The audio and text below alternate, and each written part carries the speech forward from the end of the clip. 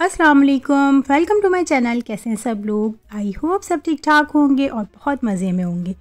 तो गाइज़ आज एक और बहुत ही मज़ेदार सी यमी सी रेसिपी के साथ आज हम लोग बनाने जा रहे हैं। बहुत ही मज़ेदार सी और आसान सी रेसिपी बिल्कुल, आज हम बनाएँगे ढाका फ़िश तो चलिए जल्दी से रेसिपी को स्टार्ट कर लेते हैं और यहाँ मैंने ले ली है हाफ़ के जी बोनलेस फ़िश और आप चाहें तो फ़िश फिले भी यूज़ कर सकते हैं। और यहाँ मैंने इसको अच्छे से वॉश करके ड्राई करके मैंने इसको बाउल में निकाल लिया। अब आप साइज़ देख सकते हैं, मैंने यहाँ दो साइज़ में ली हैं। एक मैंने लिया है फिंगर फ़िश का साइज़ और एक मैंने लिए हैं क्यूब्स में। थोड़े से मैंने क्यूब्स में लिए, थोड़ी सी मैंने फिंगर फ़िश स्टाइल में इसको कट कर लिया। तो साइज़ आप देख सकते हैं थिकनेस इसकी देख सकते हैं। अब चलें, जल्दी से हम इसको मैरिनेट करेंगे। मैरिनेशन के लिए हम लोग क्या क्या इसमें ऐड करने वाले हैं? तो बस वीडियो के साथ रहिएगा और वीडियो को एंड तक देखिएगा। और इस रेसिपी को इंजॉय कीजिए।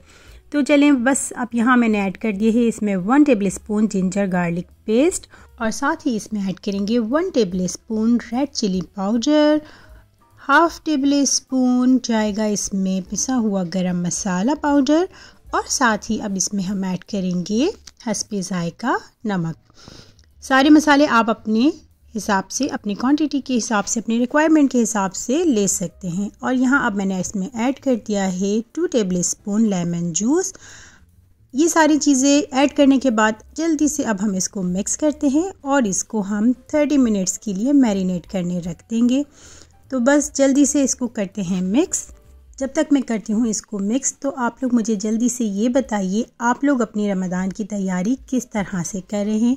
मैं भी अपना आप लोगों के साथ ज़रूर शेयर करूँगी और एक अच्छी सी वीडियो आप लोगों के साथ लेकर आऊँगी कि मैंने अपनी रमज़ान की तैयारी किस तरह की। तो गाइज़ मसाले अच्छे से मिक्स हो चुके हैं फ़िश में और इसको रख देते हैं थर्टी मिनट्स मैरिनेट करने के लिए।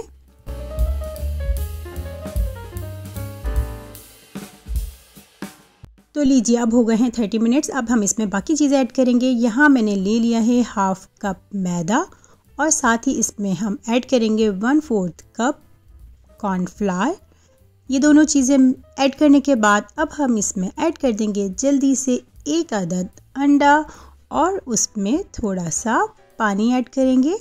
तो चलें, यहाँ मैंने ऐड कर दिया है एक अदद अंडा। उसको मैंने थोड़ा बीट कर लिया था। अब यहाँ पे हम थोड़ा सा जो है वाटर ऐड कर देंगे ताकि ये अच्छी तरह से बैटर में मिक्स हो जाए। अब इसको कर लेते हैं अच्छे से मिक्स और उसमें हम एंड में ऐड करेंगे सेसमी सीड वाइट वाले। आप चाहें तो डायरेक्ट ऊपर से भी पोर कर सकते हैं फ्राई करने के टाइम पे और चाहें तो मिक्स भी कर सकते हैं। मैंने दोनों तरह से किया था बट पोर करते हुए की वीडियो मैं नहीं बना सकी।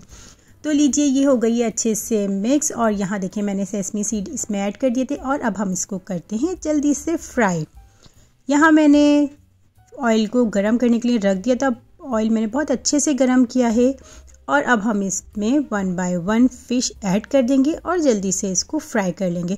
गाइस आप लोग इस रेसिपी को ज़रूर ट्राई कीजिएगा। बहुत ही मज़ेदार सी रेसिपी और बहुत जल्दी से बन जाती है। आई होप कि आप लोगों को ये रेसिपी पसंद आ रही हो। तो बस, अब ये देखें।